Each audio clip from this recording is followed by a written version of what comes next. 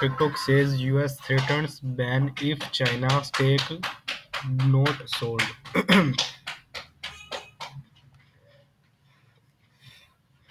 The US government says TikTok should be sold or else face a possible ban in this country. The video sharing app owned by Chinese company ByteDance is accused of posing a national security risk through data gathering from millions of users. A request for a change in ownership, first reported in the Wall Street Journal (WSJ), was confirmed to BBC News by TikTok. The company said to forced sale would not change its data flow or access.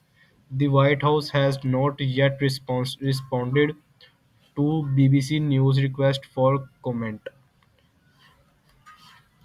For years, American officials have raised concerns that data from the popular app could fall into the hand of the Chinese government.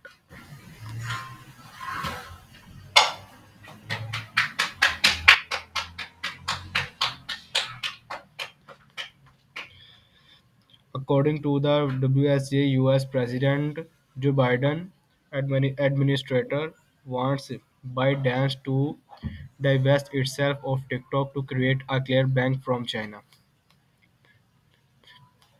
The newspaper said the Committee of Foreign Investment in the United States (CFIUS), which oversees national security risk,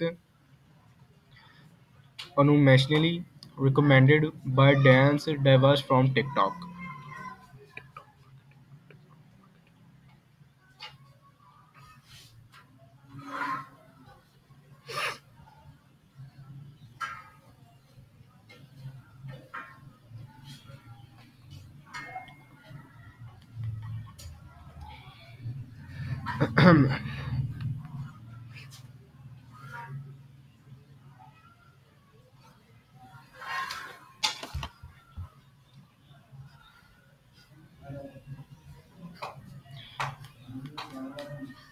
However, the spokesperson said the reporting was overstated and did not clear what diversity meant in practice. If protecting national security in the objective, divestment does not solve the problem.